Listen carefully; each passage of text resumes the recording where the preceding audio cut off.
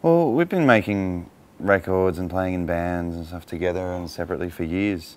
Um, and it just so happened, yeah, several years ago we were messing about at my place with a couple of guitars and a couple of bottles of wine and for some reason we decided to create this, which is, um, yeah, was always going to be an ambitious undertaking. So, but you know, we didn't think it would be successful either, and it just happened. So we were sort of on hold from all our other projects while we did do Tubular Bells.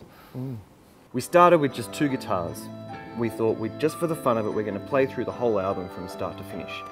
Um, we kind of got that happening over a bottle of wine, and then got to the end of that and thought, well, you've got to have the piano at the beginning because that's the most famous part. So how about we both sit at a piano, play guitar, and play through the album? It starts off quite mellow, but there's still a lot going on in the music. So there's kind of this conflict with our between our what our bodies are doing and what the music has to sound like. So we're quite stressed juggling all these little things, but the, you know, we, we didn't realize that the show was as entertaining as it is, I suppose. When we first played it, we were so focused on just getting the music right um, and making it sound like that album that um, we didn't realize that it was funny. In the, during the first performance, we got about, what, 10 minutes in, and suddenly the audience were laughing. And we thought, oh, you know, we hmm. played this wrong, you know, what, is it really that bad? And then there was just this moment of realization that, oh, hang on a minute, this is kind of a ridiculous yeah, thing we're setting out to try and do. just absurd. This is the only